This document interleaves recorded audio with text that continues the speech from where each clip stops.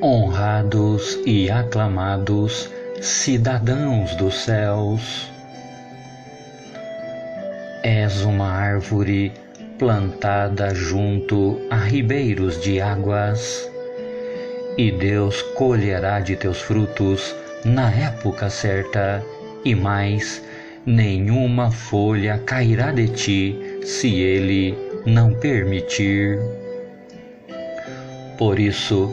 não mais temas aos fortes ventos, nem às tempestades que ameaçam derrubar tudo o que encontram pela frente, inclusive a tua felicidade. Tens a promessa divina de que na hora dos perigos serás escondido debaixo das asas do Criador, recebendo descanso proteção e sábias instruções para que, quando te for necessário confrontares as terríveis hostes da maldade, sintas a plena condição de venceres a cada uma delas pelo poder de tuas orações, empunhando corajosa e bravamente a espada da fé com a qual derrubarás o mal e todas as suas legiões. Aqueles que nas pelejas da vida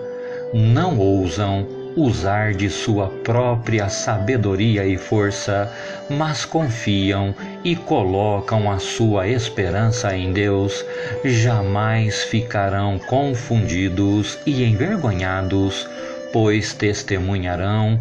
planos maléficos contra si, sendo pela justiça rasgados, e diante dos seus olhos carros, cavaleiros e grandes fortalezas sendo derrubados, numa confirmação de que as promessas de Deus são fiéis e verdadeiras fazendo dos soldados de Cristo vitoriosos na terra e dos céus, honrados e aclamados cidadãos.